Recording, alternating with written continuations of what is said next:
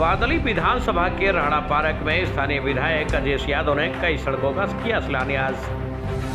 दिल्ली की बादली विधानसभा के राणा पार्क तमाम गलियों का अब होगा निर्माण। इस निर्माण कार्य के लिए करीब 14 करोड़ की लागत का बजट पास किया गया है। 14 करोड़ की लागत से तमाम गलियों को बनाकर तैयार कर दिया गया जाएगा। हमारे परिवार है। इन्होंने अपनी ज़मीन भाई वीरेंद्र और परिवार है, महिपाल भाई है, जयपाल भाई है।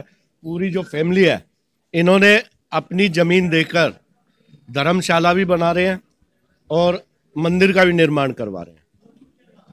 तो ये कॉलोनी के लिए बहुत अच्छी बात है। आजकल तो लोग एक एक इंच के लिए लड़ते हैं और इन्होंने मतलब अपनी ज़मीन को खुद दान दिया है।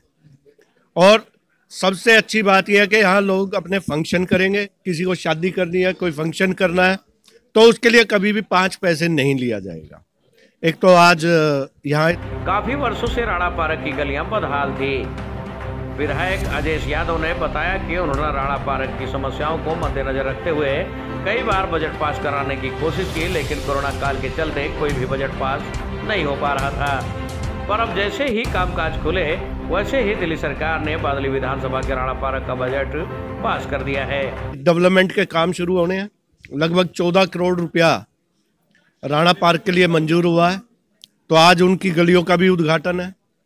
उसके बाद, जीवन पार्क का कुछ पार्ट बच गया था, उसका हम सर्वे करवा रहे हैं। तो उनके भी डेवलपमेंट को लेके यहाँ चर्चा कर रहे हैं, क्योंकि कोरोना की वजह से बहुत सारे काम रुक गए थे। हमारी विधानसभा में फिर भी एक तो बड़ी खुशी की बात है, हमारे यहाँ ऑफिसर जो रहे हैं, और, कुछ ठेकेदार बड़े एक्टिव रहे।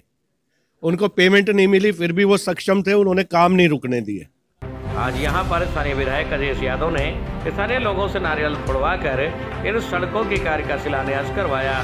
दिल्ली सरकार के इस काम से स्थानीय लोग काफ़ी खुश हैं। दिल्ली सरकार के सराहनीय काम की काफ़ी प्रशंसा भी हो रही है।